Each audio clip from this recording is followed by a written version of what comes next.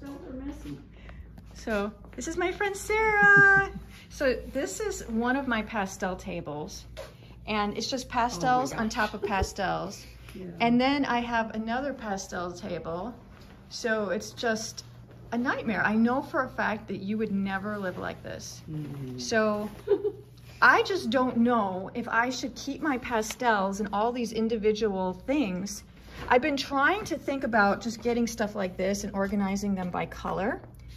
But how does a real pastels do it? Do they go just by color or do they go by hard to soft? I mean, kind, You go by value and color. value, and so color. you take you take these and arrange the dark ones at the bottom, Mm-hmm. green to blue, Okay. uh, or green to purple, green, blue, purple, uh, the dark, and then as they go all the way up So I into the need- very lightest I need bigger Tupperware. I need bigger. Well, I don't use that. There um, on the Blick. Um, in the Blick catalog is a uh, set of three wooden drawers that you can pull out that are all in this little box, and they're about this big. And that's what I have on my pastel I table. used to have something like that, but to tell you the truth, I got rid of it. Well, but because- they work perfectly for putting all the pastels in. I guess I need, obviously you see how many pastels I have, Yes, and I have need to be- more at home. And then put the hard ones separate because they, you use them separately, differently. Right, right. And so put them uh, in their own. But what about stuff like this? What I mean, they come in their own little beds. Oh, take out all, take the, all the paper off, Yeah, I know. and um, then uh, just put all the different kinds together. Your Schminckes, your Yeah. whatever those are, your unisons, your these, and then value No, color. I know I have to do All that, but I have to. I see people with like really big bins, Mhm. and okay, one of the issues I have is when I'm doing like a demo or when I'm doing a video, right? Like I need to tell people or I want to tell people, hey, I used a Unison or I used a this even brand like Blue Earth pastels. But if I take all the papers off and I take them out of their boxes, I completely forget what brands Well, they are. blue earths don't come with papers on them anyway. You, you rec- recognize them by the feel and the shape. Okay, so people are just have to get used to They have to learn them. right because I do yeah because I was trying to kind of group like pastel lights together, Mm-hmm. but I have no idea like what. See, but I have a hard in with a soft, But- so but that's this- this- illegal. That's a hard. This That is Rembrandt. Okay. You yeah. have Rembrandt? Yeah, no, I got them all. I, but you'll learn. You you'll you'll learn by feel yeah. what they are. This is a this is a unison. But take the papers off. okay. And then But then I forget what numbers. to- but like, no, what no, if no, I no. love this and like I want to get more if of you that? have that and you want to get more of it, what you do is Dakota Yeah. sells the The- she, the, the papers, okay. No, I all, need to all do the that. samples, and so you buy those. You put Okay, them all to in one big, big um, Mm-hmm. um, folder, and you say, "Oh, I know this is this was a unison." Yeah. You go to your unison samples. But does this just give you a it lot of anxiety when you look at this? No, It doesn't? no. Because it gives me anxiety. And you're a much cleaner, much more. Look at this. I have things on top of things. And so I even forget what's underneath here. Well, I think first you have to decide what kind of structure you're going to put them Yeah. in. Then you decide what kind, what you want under them, and and um, something I'll Yeah. show you. But a little- I use plastic, just that whitish plastic, So it's kind of like a foam. like a foam. Yeah. And I cut that to the size. It's almost like And this. I had a table. It's almost similar to that, yeah. Yes.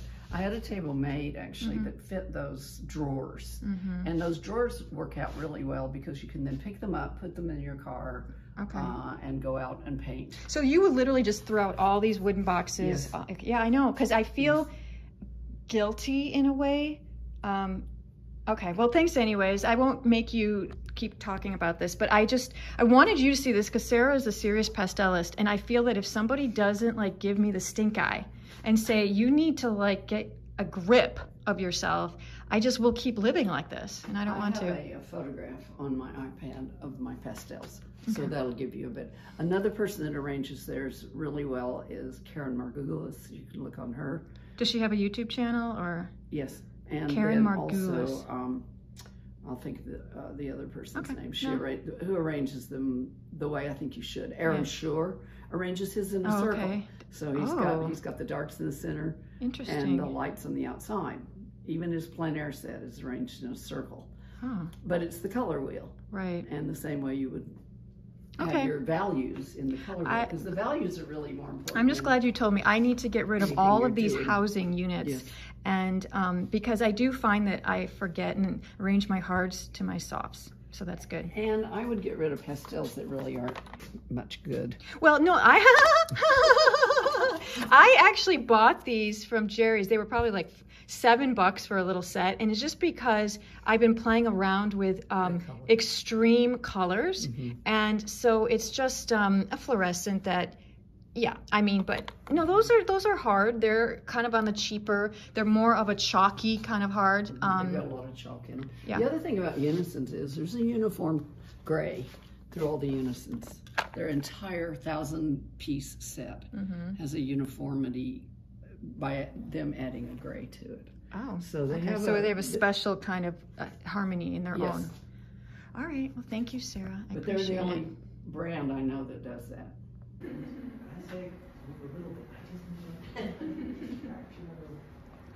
your whole body. I practiced with Luke before he modeled yesterday. Right out the window when he got there. Right. I know, I'm picky. Yeah, what I thought was cute was when Jason said, um, How, how did that? Nice, our beautiful model rose. Right, right. Yeah.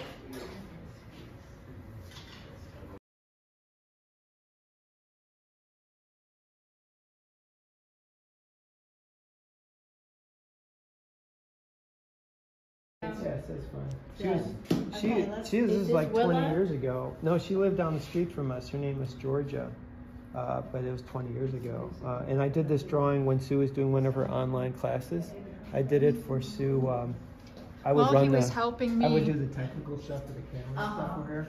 And so, for three hours, that, so I just did this drawing while I was, from a photo that I took. this is all the stuff you're talking about. Yeah, you try and like make it interesting. you know? Uh-huh. Someone asked on our live page on live for what Sue did about that, how you, she's having so much trouble doing Okay. uh, clothing. Okay, let's see. And so I was saying, Sue was saying, you simplify it, just simplify it. But I was saying also, make it the opportunity to just do it abstract so that the face is the more interesting. Yeah. You know, and you don't have to paint every single flower and Uh-huh. turn it into a shape. you know? Hi. This was the pastel that I did in our model session. And to be perfectly honest with you, it's, it's a little bit average. I decided to use this light green paper and I regret doing that. Um, at the time I had kind of was going back and forth between like a darker paper, like a darker green or a darker purple. And I chickened out. For some reason, I just chose this lighter one and I feel like it's just a little bit too underwhelming.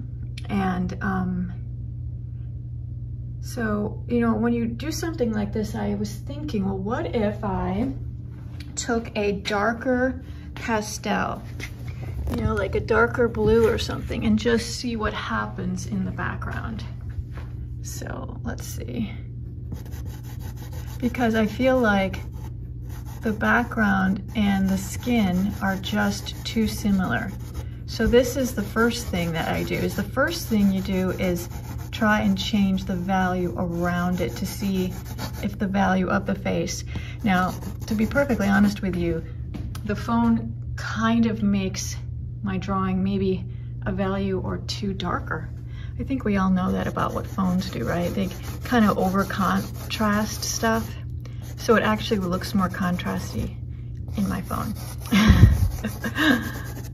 um, so just making a darker background. Now the face looks a little bit lighter.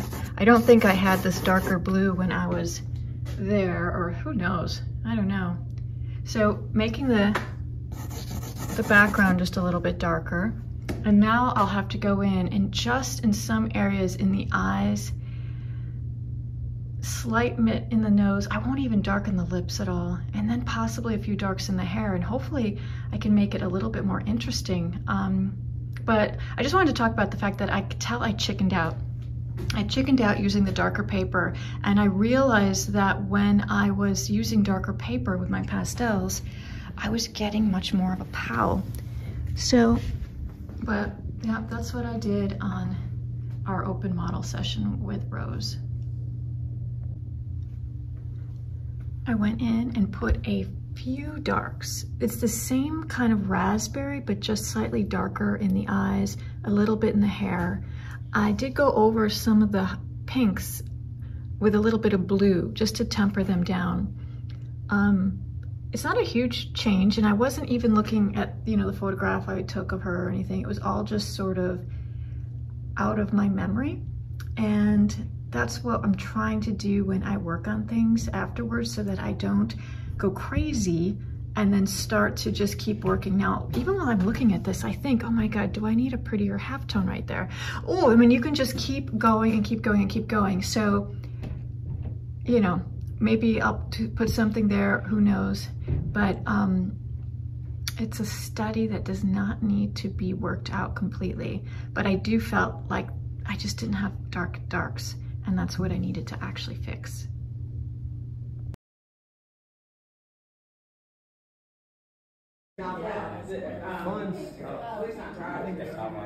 Yeah, it looks very, yeah, it's a video. Michael, Michael, do you like the top one? I like the, uh, yeah, no, I think, I think it is neat. I like how you can still see the white strokes. it's like an oil pattern. you It know, like in does. the- in It's photo. totally. I think it's really cool, and I like how he made that box. Here's some of mine using black.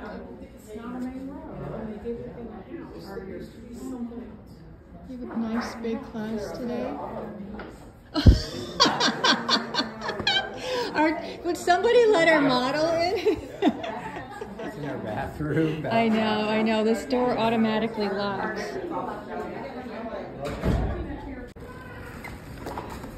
These are the little pastels I did on black paper. These are the first ones, so I'm trying to figure it out. And they're really quicker poses, so you don't get to do that much to them. And then they get a little bit longer.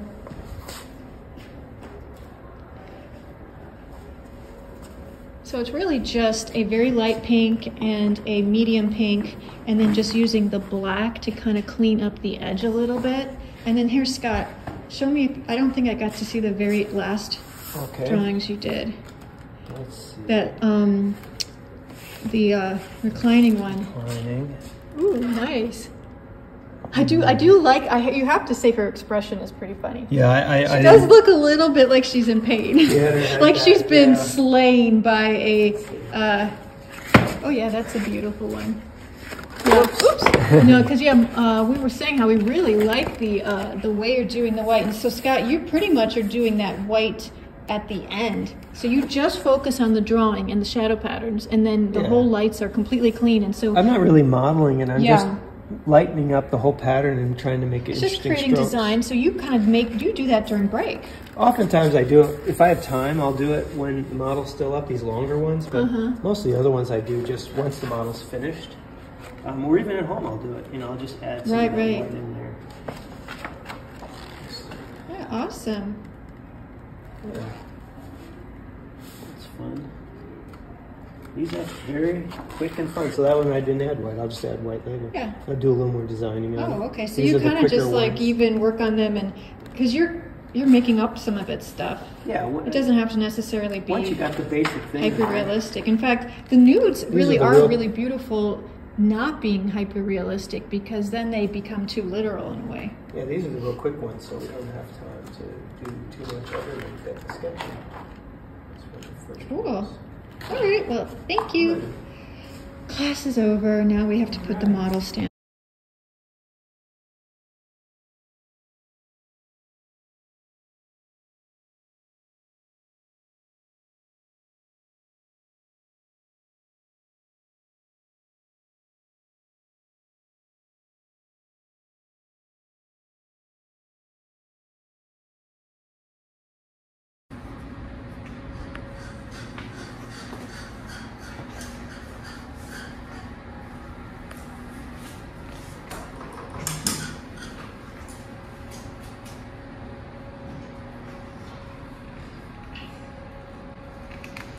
That is one messy palette. Mm-hmm. Wow. Thank you. That's a compliment. That's a compliment. like, wow. That makes me, it reminds me of what my closet looks like. I'm afraid to go in your closet. I know, I'm afraid to go in my closet also, and it gives me anxiety. afraid to go in my palette. I'm afraid to, I'm afraid to go in your palette, yeah. That is a lot of goop. It's just like my painting. That's right. So are you gonna finish your painting from a photo? I don't know. I don't know. I Usually I don't. I usually, if I finish them, I don't use the photo. Well, meaning that you'll work on it later. I might. I know I'm gonna work on mine.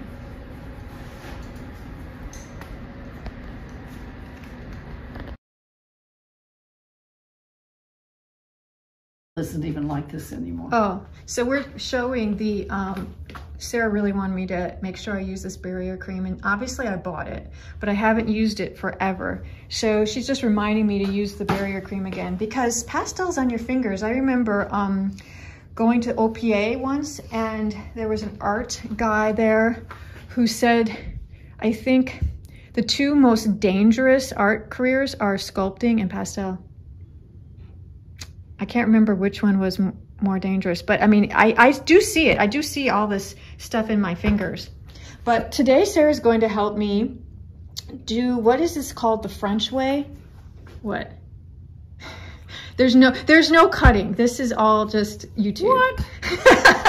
okay. The more bloopers, Okay. the better. Well, back back to uh, the dangers of pastels. Mhm. You can either breathe the dust. That's Yeah. one of the dangers, and they do make this um, uh, air evacuation system that you turn the fan on, and it takes all the dust out. But a better, I'll, I'll demonstrate a better way to control the dust in a second. The other way to get it is through your fingers, and that's mostly the ones that are um, heavy metals. So your cobalts, it's just like um, You're scaring me now. So I really have been just putting pigment into my body.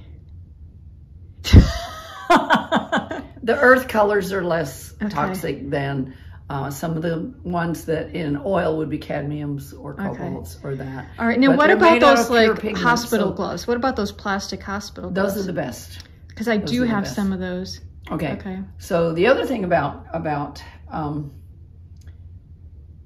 protecting yourself from pastels is a lot of people wear what they call finger cots, Yeah. which are just little three or four fingers that you're actually going to have. I did have those a while ago. Our friend Marcia gave some to me, and I just find that I'm lazy, and I don't- who knows where I put them, but I did have those because then they don't get your whole hand hot. hmm Right.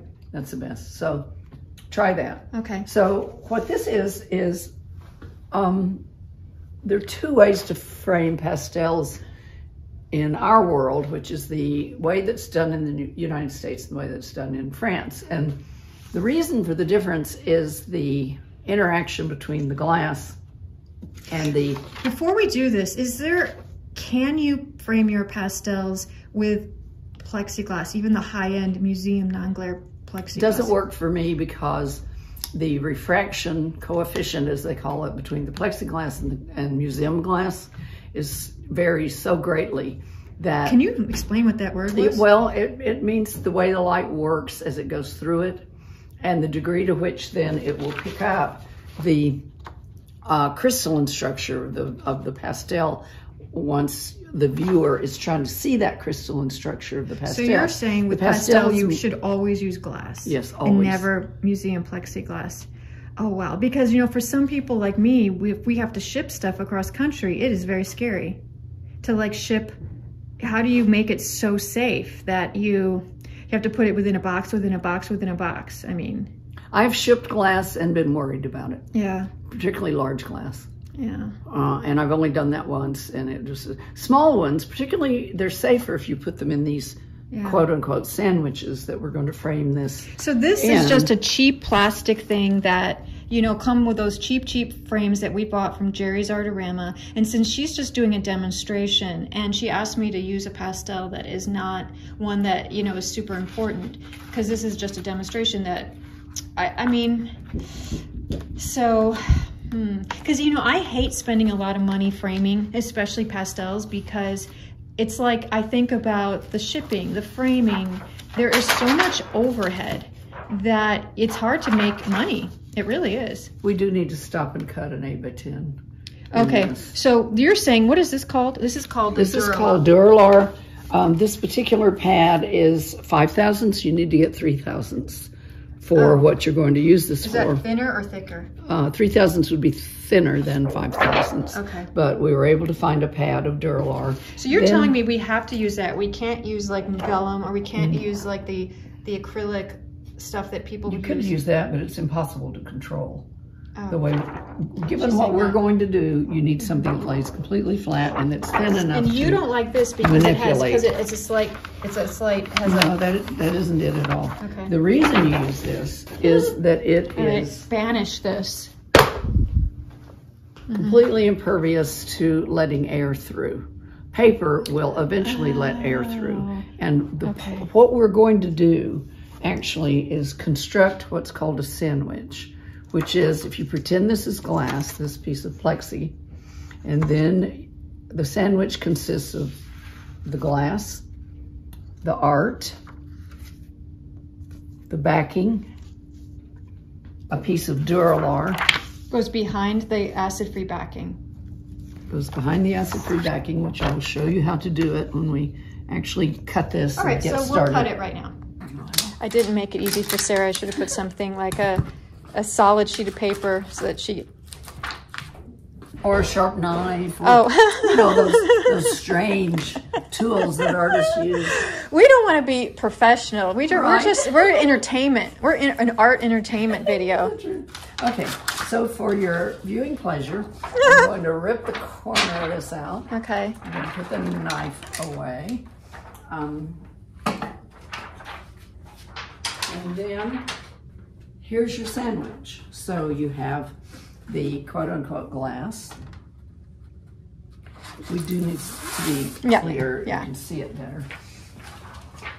And then you have, so totally clean, both mm-hmm. sides, because you don't want to be messing too much with. Right. it once it's made into the sandwich. And we're going to use the corner of this table also. Hmm.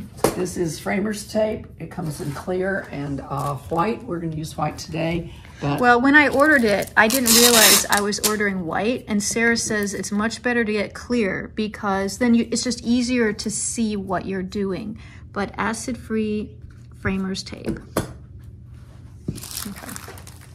this is what, three quarters of an inch, one, one inch. Oh, okay. one inch. All right, so we have the tape. We have a piece of Duralar cut one quarter of an inch smaller all the way around than the, than the glass. So it's a little smaller, yeah. Did I move that too fast? Okay, yeah. And then we have the piece of art and we have a backing. And those four items go in the same Are you size. saying that the foam core is too big? Or the gator board? Something's not the same size. But when you do it for yourself, just make sure they Just do it more professionally than I did because I cut that white thing. Um, yeah, I think the painting's too big. We can Oh. at least get it the size of the, um, see that? We can get it the size of the backing. Oh, okay. So, That'll okay, help. I can cut that down. So if you All can right. cut that. The but- lip. The lip, okay. So um, when we put the tape on, it's got to not show. Oh, you're saying the width between the frame and that because Yes, that's going to come got- over the drawing. So you just you need to know how wide that is because you don't want the tape showing in, fr- at- in the glass. Yeah. Exactly.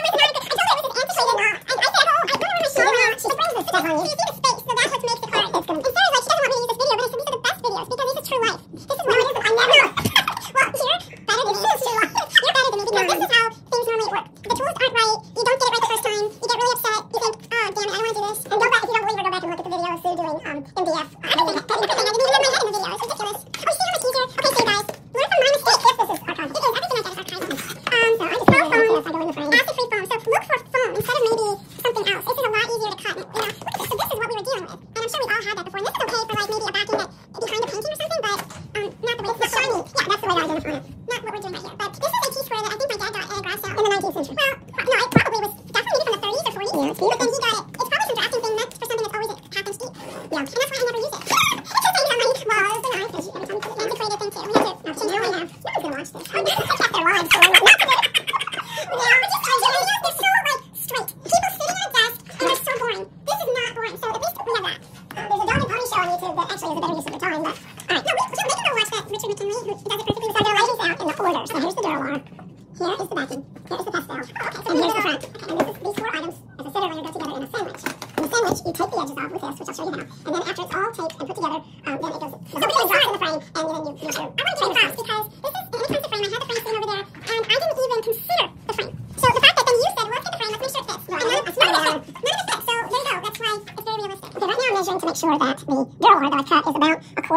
More three eighths, but uh, of an inch inside, just so you can see it when you tape it. Um, this isn't in any of the other instructions, but I sort of invented this myself because um, of the way I tape it. And you'll see, because this is the very last thing that happens is the tape comes from the glass on the front after you put the sandwich together and folds over, and you really need to see where you are. Right. Now the point of all this, because you don't want to tape it and then push the mylar and have it go off the other edge. Exactly. Exactly. Uh, so you always need to know where every edge is. So the point of all this, having explained the Bellows effect of the American um, method of framing pastels, this method puts the glass right down on the um, piece of art, and there is no air between it. The point of the mylar and the backing and the tape is to be able to take the whole thing together, the whole sandwich together, and get every ounce of air out of it, so that it's actually a negative air space, um, negative in terms of um, the pressure that is from the outside onto this piece of pastel.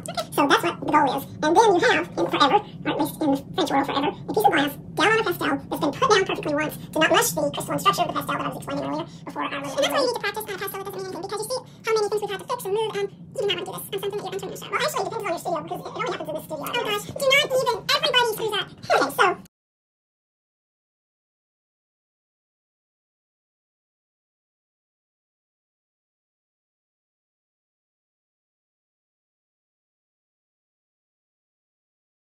To an edge of a table. And you told me that when you use real glass, you wear those gloves, those protecting gloves. Yes, I do. Yeah, because you don't want to get a cut. You don't want to get a cut. So see what I did? I just touched it with my finger and it moved. Your a, a pastel done on a piece of sanded paper won't move against the glass as readily as a flat piece of uh, real paper uh, will move against this plastic. So that's interesting. Okay, the next thing you do is you find um, a person who's willing to Oh, so try spend. to do a two-person job. Yes, it's a two-person job, even with a small piece, who is willing to stand here and hold their hand. See, I moved it. Um, so it's the materials. What that- if you could get some kind of weight, like Um, a Well, some kind of because you got glass? to move this, so you'll, Oh. you're going to be moving it under the weight. And I don't know. Oh. I haven't tried that, Sue, and that may work.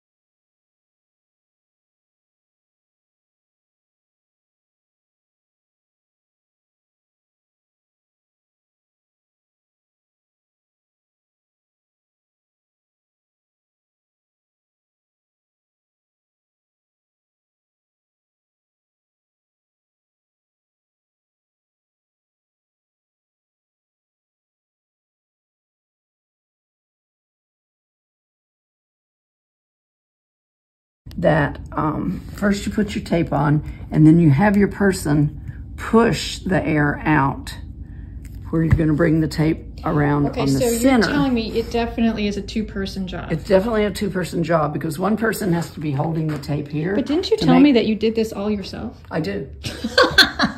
so you are superhuman. Well, How I do you just, do it yourself? And then like, like I know how to hold it and pull Okay. toward. Once I get the tape on the bottom, I can, a big piece, Mm-hmm. I'll hold it and I'll push the air.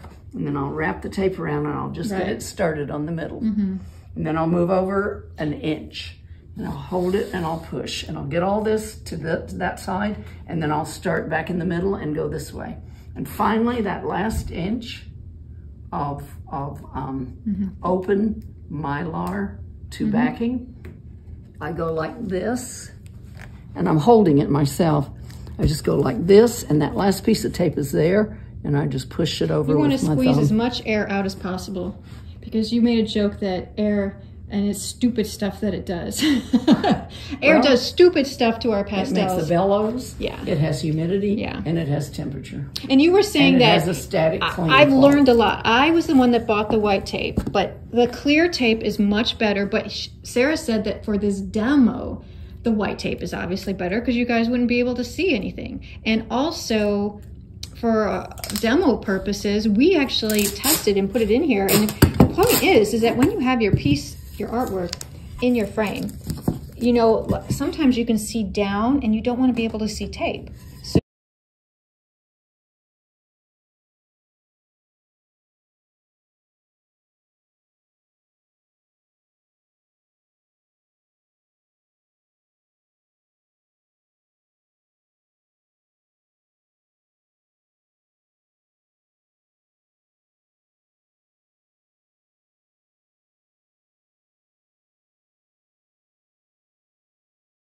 Thing I sent with all the pastels. Yeah, no, I'm going to so- show. So Okay. we took the, all my pastel boxes apart.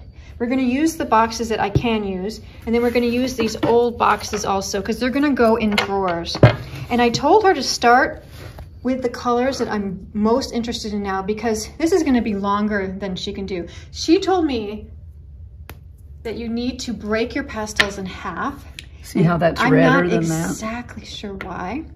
Um, because they're more usable in this form, Mm-hmm. and they're actually more usable in a smaller form. Okay. Um, and the square ones, like the Terry Ludwigs and the Blue Earths and the Mary and the Town Diane Townsends, they're more u- they're made this way and this size because they're actually more usable because you use the side as much as you use And so we have to take the like- paper off and break them in half.